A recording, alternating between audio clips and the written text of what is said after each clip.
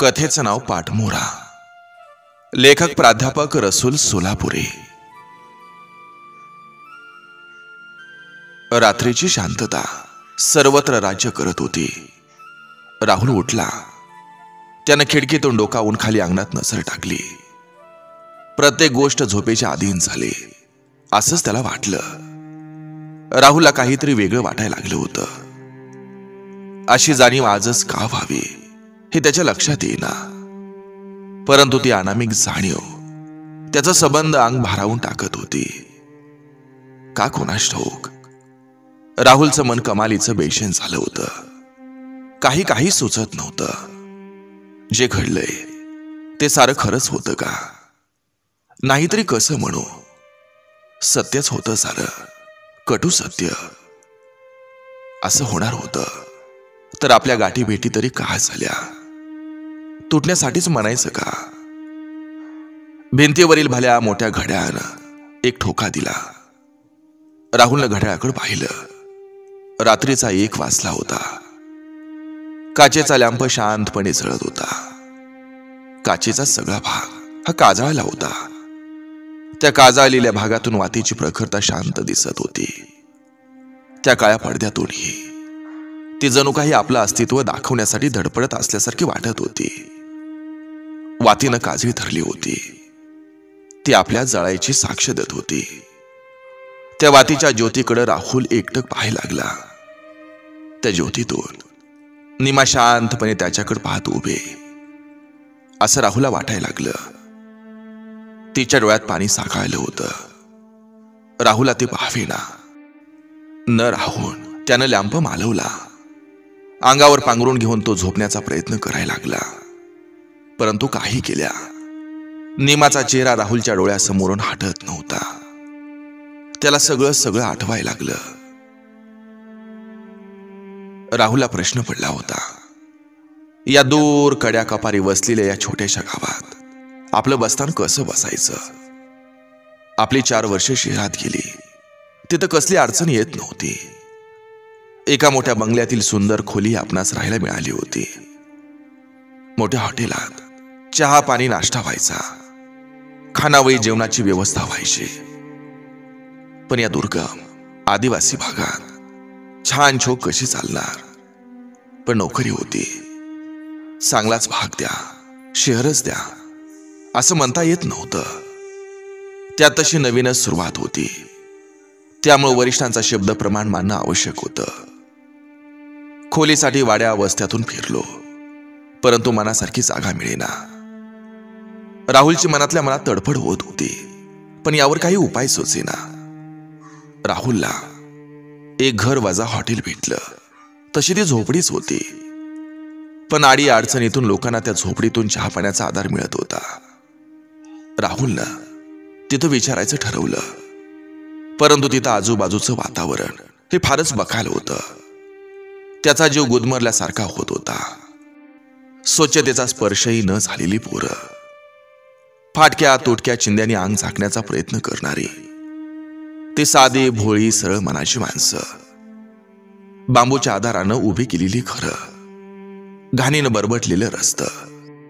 राहुलला हे वातावरण परिचयाचं नव्हतं. क्षणभर नोकरीला पाठ फिरवून माघारी फिरावं असंही त्याला वाटलं.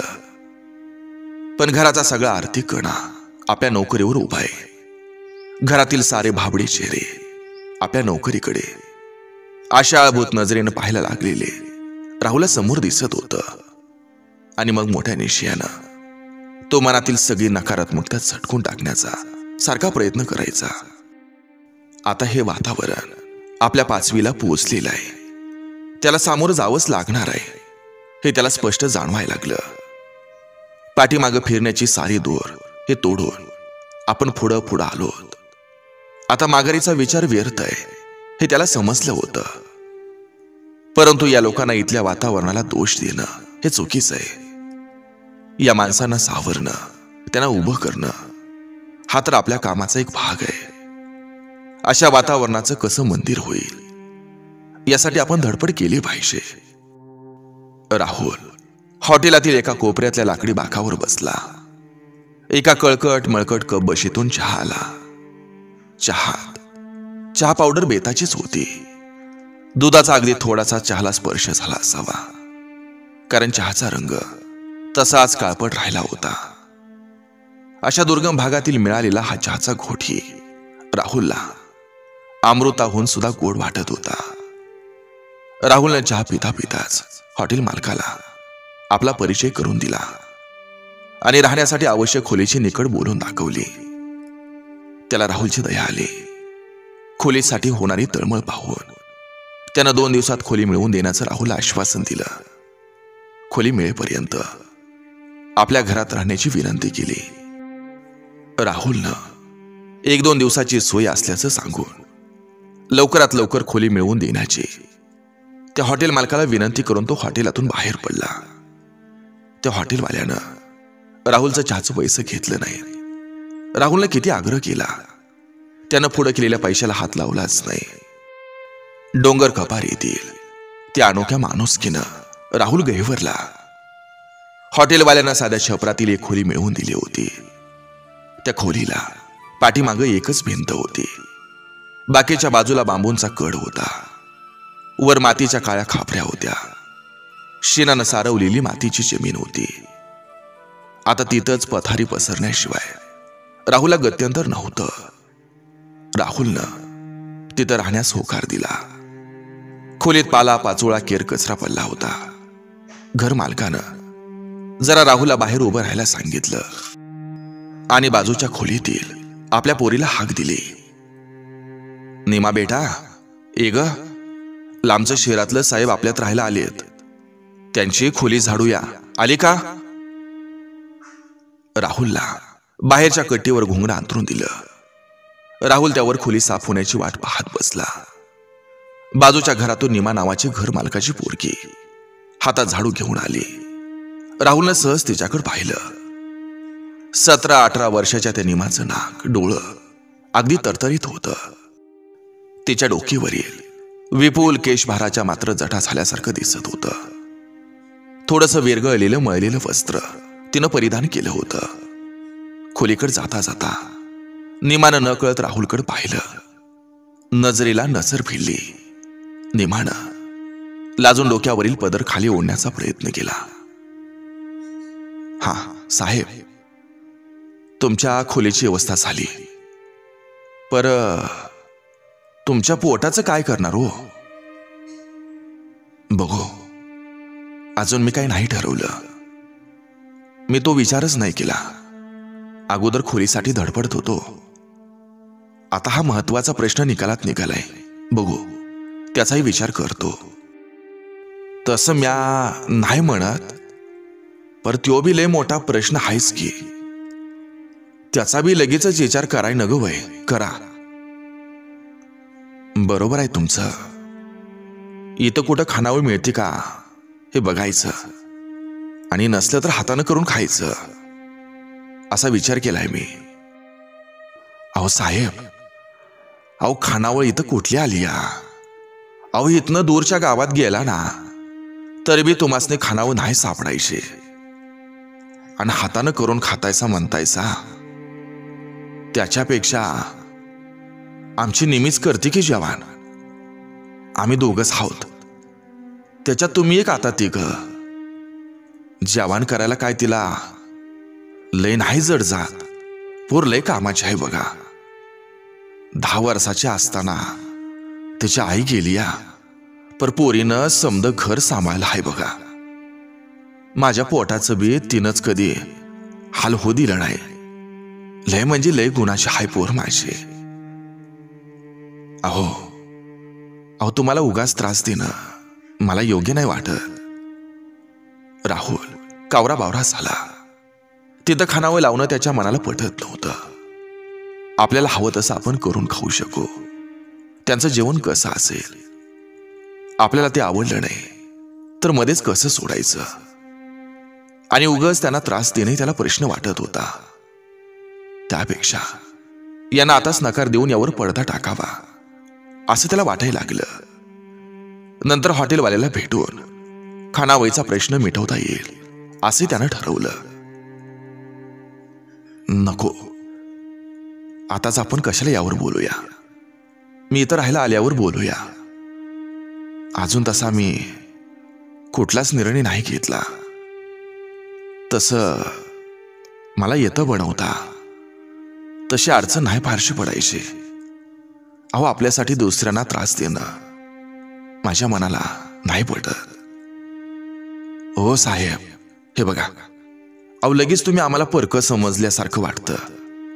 अहो तुम्ही एवढं लांबणं आलाय सा तुमच्या पोटाचा हाल झालेला आमासनी नाही बघवणार. आणि हे बघा ते माणुसकीला बी धरून नाही व्हायचं.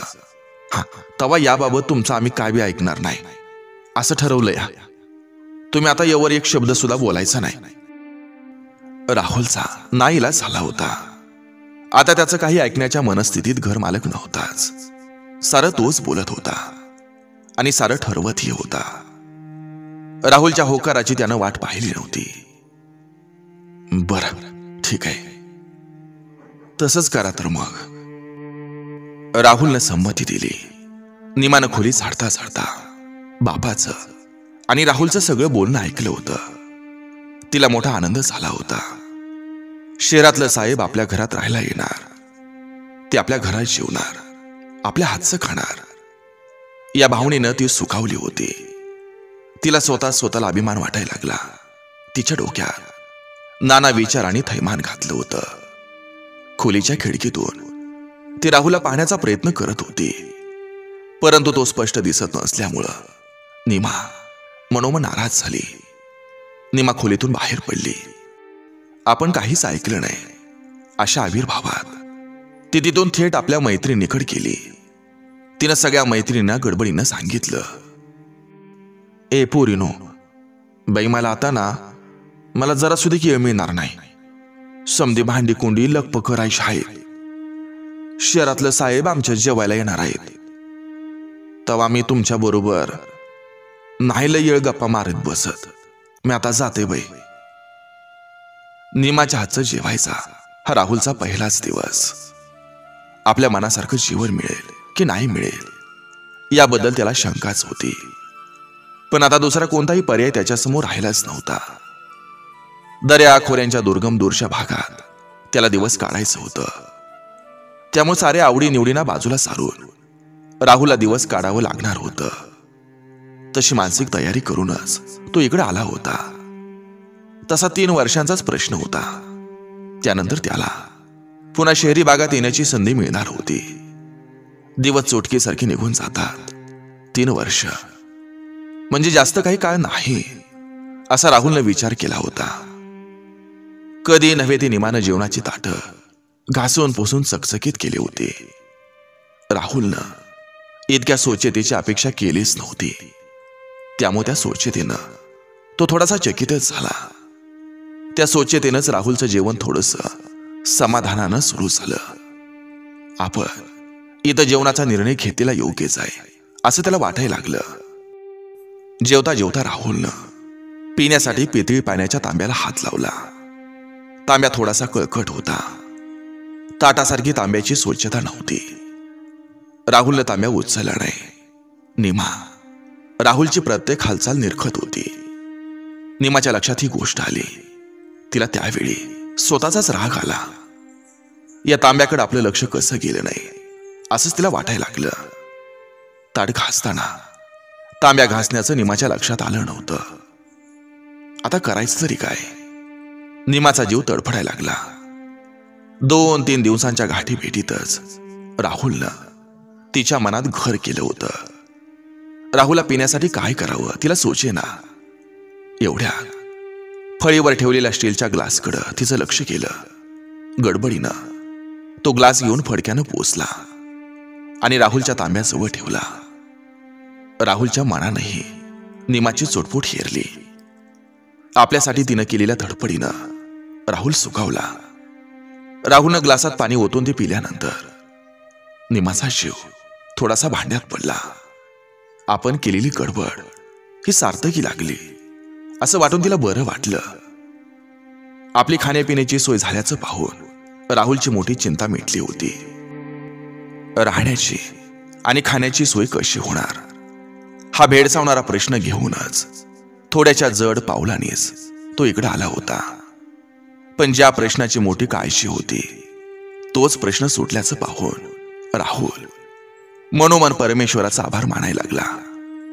निमाला आता दररोजच्या कामापेक्षा कामाचा ताण जास्त पडायला लागला होता. परंतु राहुलसाठी तिला या कामाचं काहीच वाटत नव्हतं. जेवणात निमा तिखट मीठ अगदी सांभाळून वापर करायची. तिखट मीठ प्रमाण हे कमी अधिक झालं. तर राहुल जेवल का? त्या काळजीनं ती स्वयंपाकाकडे अधिक लक्ष द्यायला लागली. निमा अगं तुझ्या जेवणात लई सुधारणा झाली बघ. अगं आखरीतच म्हणायचंय असं. एकदा निमाचा बाप तिला हसत हसत थटेनं म्हणालाही. परंतु त्या शब्दाने निमा सुखावली. आपलं जेवण आता चांगलंच होतंय. म्हणजे राहुलाही नक्कीच आवडत असेल अशी तिला खात्री वाटायला लागली. परंतु अजून राहुलनं एकदाही निमाच्या जेवणाची स्तुती केली नव्हती. राहुलच्या त्या स्तुतीकडं निमाचं कान लागून राहिलं होतं. असं शब्द. तू कधी एकदा बोलतोय असं तिला वाटत होतं. दररोज निमाचं मन धास्तावलेलं राहायचं. आज स्वयंपाक कसा झाला असेल? भांडी स्वच्छ झाली असतील का? या प्रश्नाचा भोंगा. तिला सारखं पोकरत असल्यासारखं वाटत राहायचं. निमा आता राहुलचे कपडे धुवायलाही आपल्या कपड्याबरोबर घेऊन जायला लागली. राहुलने यासाठी आडं वेडं घेतलं. निमाला आपल्या अशी सगळी कामं लावणं हे त्याला प्रशस्त वाटत नव्हतं. त्याचं मन संकोचत होतं. परंतु राहुल स्वतःचे कपडे धुताना पाहून निमाला ते राहावेना तिनं बापाला सांगून त्याचे कपडे धुण्याचं कामही आपल्याकडे घेतलं. राहुलनं यासाठी खूप विरोध करूनही त्याचा काहीच उपयोग झाला नाही. अखेर धुण्याच्या साबणाच्या मोठ्या वड्या त्यानं निमाला आणून दिल्या. त्या साबणाच्या वड्या पाहून निमा हरकली. असा साबण. तिनं कपडे धुण्यासाठी कधी वापरलाच नव्हता. निमा धुणं घेऊन नदीवर गेली. नदी काठावर बराच गाळ साचला होता. धुण्यासाठी ठेवलेल्या दगडाजवळ निमा गेली. एवढ्यात तिची मैत्री निर्मला धुणं घेऊन आली. कपड्यांना साबण घासताना निघणाऱ्या फेसानं निमाचं मन हारकून गेलं. कपडे तर जादू केल्यासारखे स्वच्छ होत आहेत असं तिला वाटायला लागलं. असा साबण ती कपड्यांसाठी प्रथमच वापरत होती. निर्मलाला सुद्धा. तो साबण पाहून कौतुक वाटलं. ए निमा अगो बाई लय साबण भारी आहे की ग. बया कपडे कशी चकचकीत व्हायल्यात. तुझ्यासारखं आमचं नशीब नाही बघ बाई. हा. आपल्या डोकीवरील धुण्याची बोटी निमाच्या बाजूला ठेवत निर्मला हसत हसत बोलली. निमानं मैत्रीण आल्याचं पाहून आपलं धुणं धुण्याचं काम थांबवलं आणि थोड्याशा गप्पा माराव्यात. म्हणून ती निर्मलाच्या शेजारी बसली. नदीच्या दुसऱ्या काठावर पाण्यातील माशांचा शोध घेत बगळे फिरत होते. माकडांचं एक टोळकही इकडून तिकडं उड्या मारत आवाज काढत होतं. त्याच्या त्या आवाजानं नदीकाठची शांतता भंग पावत होती. निमे म्या बघतीया त्यो साहेब तुमच्याकडे आल्यापासनं तुला बोलायला बी ओकत मिळना वाटतं. आमासनी विसरलीस असं वाटतंय बघ. हा. उजव्या हाताची बोट हानवटीवर ठेवत निर्मला असं बोलली. ए बाई खुळसटच हाय बघ तू. तुला इसरीन असं कसं म्हणतीस ग तू?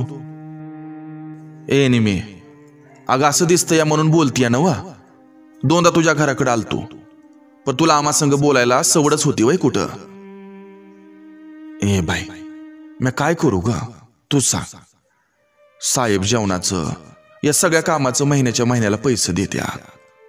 एक रुपया बी ठेवून घेत नाहीत. त्यांच्यामुळं आमचं आता बरं चाललंय बघ. चार पैसे टायमाला मिळायला लागल्यात. आणि त्यानं बाची मेहनत बी जरा कमी झाली या. मग एवढं समज होतं या. मग जरा त्रास काढायला न वय ग. नेमा तळमहीनं निर्मलाला सांगत होती. आणि तीही अगदी मन मोकळेपणानं नेमाचं भाबडं मन समजून घेण्याचा प्रयत्न करत होते. ए निमे पडते अगं तुझं समद. पर जळा सांभाळून राहा ह्या शहरातल्या शिकल्या सवरलेल्या माणसांचं काय समजतं या वय असल्या लोकांचं मला लय भ्या वाटतं बघ. ए बाई तू म्हणतीस ना तसला नाही ग त्यो. लय चांगला आहे बघ माणूस. अगं तवाच माणूस ओळखता येतोय ग. कामाशिवाय एक शब्द बी जादा बोलत नाही. जेवला तरी बी ताटात वाढलं या तेवढंच खाऊन उठायला बघतो म्याच हवं नको ते सारखं विचारत असते या उगीच लांबचा माणूस आहे उपाशी पोटानं राहिला न ग. म्हणून काळजी घ्यायला लागते या बघ. बया बया बया. म्हणजे शहरातल्या त्या साहेबानं आलेल्या तुमच्या मनात घर केलं म्हणा की हा? निर्मला खळखळून हसत निमाची चेष्टा करत बोलली. हे ग पै बाई उगीच काय बाई बोलू नकस अगं जरा विचार कर की. ती शिकल्या सवरलेली माणसं त्यांनी कुठं आम्ही कुठं? त्यांची आमची कुठं बराबरी होईल का ग? सांग बर तूच. म्या बी असली स्वप्न कशी बघायची उग? अग पर माणूसली चांगला हाय म्हणलीस नव तू. होय ग ते काय खोटं नाही. लय म्हणजे लय म्हणजे लय चांगला साहेब आहे बघ. तरी बी मी आता असा कसा विचार करणार ग? सांग बर तूच कसं करणार? अगं पर तुझ्या मनात भरलाय नव साहेब. अगं मला मैत्रीण म्हणतीयास. आणि असं आडपडद्यात कसं काय बोलतीस ग? अगं मनात असेल ते आपल्या माणसाजवळ बोललं ना की मन मोकळं होत असतं बघ. मनाला वज वाटत नाही. मी आपलं तुझ्यासाठी बोलती बघ. माझा जीव तळमळतो या बघ म्हणून. हा आणि तुझ्या मनात असल तर लग्नाचा इशे तुझ्या बाजूवर म्या काढून बघते. नेहमी असल्या गोष्टीसनी लय उशीर नाही चालत बघ. बोलू का मी? एक गप आहे. अगं माझा बा मला खायला उठल. त्याला हे नाही पटायचं. माझा बा तुला नाही माहीत. जगा यगळा हाय त्यो. अगं पर मला सांग. पोरीचं हित कुठल्या आईबाला न गाजते व त्याच्यात तू तुझ्या बाचीला अडकिले खाईस तू याला कसा विरोध करील? सांग बर तूच तवा म्या इशे काढतीस बघ हा. निमा काहीच बोलली नाही. ती नदीच्या पाण्याकडे एकटक पाहत होती.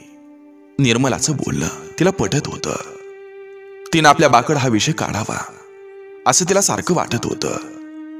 राहुलचा स्वभाव तिला खूप खूप आवडला होता. असा नवरा आपल्या आयुष्यात मिळणार नाही.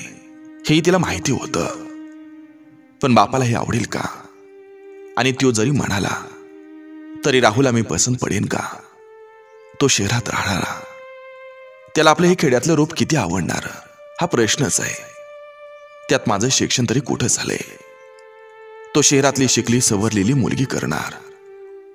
त्यापेक्षा हा विषय सोडून देणं चांगलं आहे. निमा अशा विचारात गळलेली बघून निर्मलानं तिला हलवून जाग केलं. ए निमे अगं बाई कांचा विचार करालीस ग.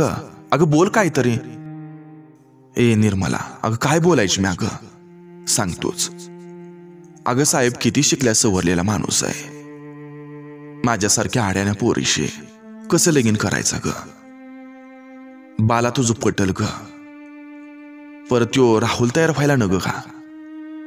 उगीच आम्हा गरीबाला असली स्वप्न बघून चालतंय वाय ग. त्याच्या परीस. ह्यो विषय इथं सोडून देऊया. ए निमी. अगं तुला डोसका नाही हेच खरं आहे ग. अगं नुसता इशे काढायचा म्हणजे या गोष्टीचा काय तो एकदाच फैसला पडेल. उगीच तू बी डोसक्यात खुळ घेऊन कशाला बसतीयास? आणि एक विचार कर. बाच्या माघारी तुला कोण हाय इथं? तवा लगीन झालं आणि चांगला माणूस मिळाला. तर समजा चांगलं व्हायचं का नाही? होईल ना? म्या म्हणतीया होय नाही एकदा काय ती कळून जाईल. अगं मी तू माझी लय जीवाभावाची मैत्रीण आहेस. म्हणून शांतर मी इतकी तळमळतीया उगीच लय उशीर केलीस आणि साहेब बदली होऊन गेला. तर मग तू काय करणार आहेस? याच्या येळी समजा गोष्टी व्हायला पाहिजे. तेव्हा काहीतरी होऊ दे. पर ह्या इशियाला एकदाच तोंड फोडून बघूया. हा. निर्मलाच्या शब्दाने निमाला एक वेगळा आधार मिळाल्यासारखं वाटलं. कुठलाही निर्णय घेण्यासाठी कचरणारं निमाचं मन. आता जरा कुठंच ती स्थावर झाल्यासारखं तिला वाटलं. राहुलला पाहिल्यापासून निमा स्वतःला हरवून बसली होती. राहुल पती म्हणून आपणास मिळावा असं तिला सारखं वाटत होतं. राहुल त्यांच्याकडे येऊन जवळपास आता दोन वर्षाचा कालावधी हा उलटून गेला होता. या इतक्या दिवसात निमानं स्वतःला बदलून घेतलं होतं. तिच्यातला बालिश अवकळपणा हा निघून गेला होता. तिच्या चेहऱ्यावर गांभीर्याच्या छटा तयार झाल्या होत्या. मनानं निमा भाव विवश झाली होती. मानवी मनातील लीला किती चित्र विचित्र असतात याचा अनुभव निमाला यायला लागला होता. परंतु राहुलच्या मनात मी माझं स्थान पटकावले का? का नाही पटकावलं? याचा निमाला अजूनही अंदाज येत नव्हता. राहुल आपल्याशी खेळ मिळत वागतोय पण कोणास ठाऊ तो आपला स्वीकार करण्यास तयार होईल का नाही? आपण काळाच्या हातातील बाहुले होत हेच खरं आहे. नशीब प्राप्त दैव ही सारी नेतीची रूप आहेत. ती आपल्याला नेहील तिकडं जायला पाहिजे. ती ठेवील तसं राहिलं पाहिजे. आणि हेच खरं आहे. नियमाच्या मनातील विचारांचा गुंता हा वाढत चालला होता. तिचं मन व्याकुळ होऊन गेलं होतं. निमाला माहिती होतं आपण इतकं भावविवश असून चालत नाही. पण या बाबतीत आपण असह्य दुर्बल आहोत असं तिला वाटायला लागलं होतं. निर्मला याच्यातून मार्ग काढेल अशी आशा निमाच्या मनात तयार होत असतानाच अचानक राहुलनं खोलीतील आपल्या साहित्याची आवरावर सुरू केली. त्या दिवशी त्यानं खोली भाडं खानावयचा हिशोब चुकता करत निमाला बोलावून घेतलं. तिच्या हातात एक बॉक्स दिला. आणि त्यानं सांगितलं हे बघ निमा हा बॉक्स ना मी जोपर्यंत सांगत नाही तोपर्यंत तो बॉक्स फोडायचा नाही तो. निमा या प्रश्नानं गोंधळून गेली. तिचं मन पिसाटासारखं झालं. तिला काहीच अर्थबोध होईना.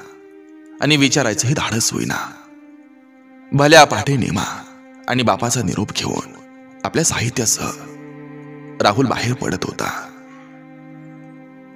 निमा आणि बाबा माशे माझी पुन्हा बदली शहराकडे झाली. आणि निमा आता तू हा बॉक्स फोडू शकतेस असं हसत बोलून तो झपाझप पावलं टाकत तिथून बाहेर पडला. त्या बॉक्समध्ये एक सुंदर अशी साडी होती.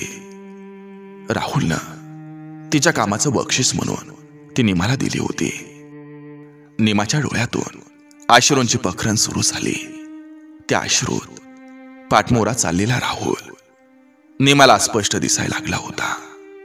अस्पष्ट दिसायला लागला होता. अस्पष्ट दिसायला लागला होता.